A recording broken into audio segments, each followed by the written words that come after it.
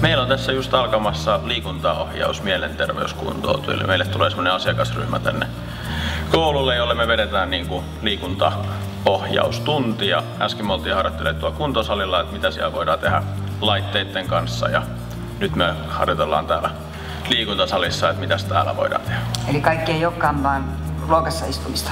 Ei, ei, että meillä on liikuntaa ja sitten on musiikkia ja lauletaan vähän sen ja sitten on kuvaamataitoa ja käydään vähän kiertelemään tulevia työssä oppimispaikkojakin, että kaiken näköistä. On paljon teoriaa, mutta sitten on myös sitä työssäoppimista, mihin pääsee sitten käyttämään sitä teoriatietoa. Ja välillä se on haastavaa, mutta sitten se kuitenkin antaa sit paljon, kun sä pääset sinne työssäoppimispaikkaan näyttämään niitä sun tietoja ja taitoja.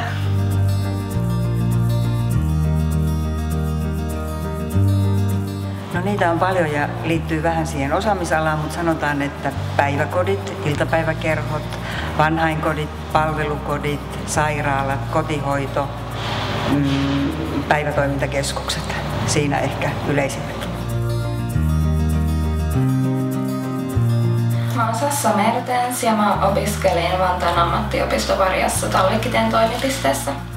Suoraan kun mä valmistuin, mä menin Etevan pienryhmäkotiin kesätöihin ja siitä aloitin suoraan vuorotteluvapaa-sijaisuuden, joka on justiinsa loppumassa. Ja sen jälkeen rupean tekemään varmaan keikkatöitä tässä väliaikaisesti ja sen jälkeen mulla on aukeamassa äitiyslomasijaisuus.